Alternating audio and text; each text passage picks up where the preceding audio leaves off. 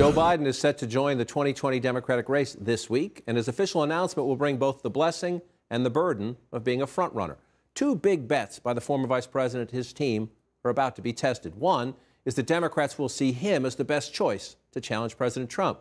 Two is that his early lead in the early polls is not just name recognition. They believe it is a foundation not a ceiling. Let's take a little look at the party as Joe Biden prepares to join the race. Joe Biden's first run for president was before this, back in 1988. But look, just since 1994, the Democratic Party has become twice as liberal, if you will, from 25% who described themselves as liberal in 1994 to 51% now. Biden has lived the evolution of the party. The question is, is he in sync with the activist voters? Here's another way to look at it. Joe Biden looks at this research about Democratic voters in last year's midterm elections and says, I like this terrain.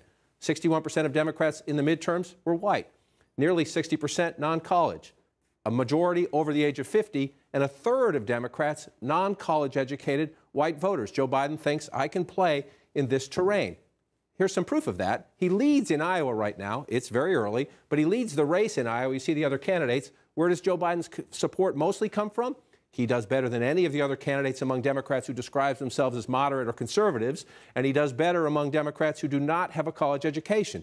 Joe Biden thinks, thinks, we'll see, he has the blue collar appeal there.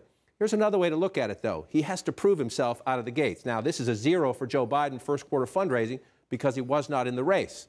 We get the second quarter, three months from now. Once Joe Biden gets in, he better prove that he can keep up, if not lead the pack, when it comes to raising money.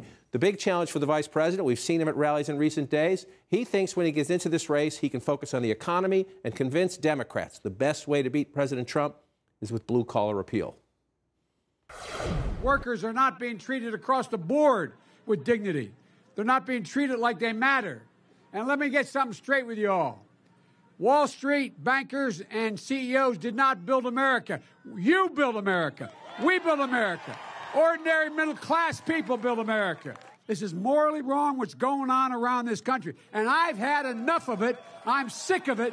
And so are you.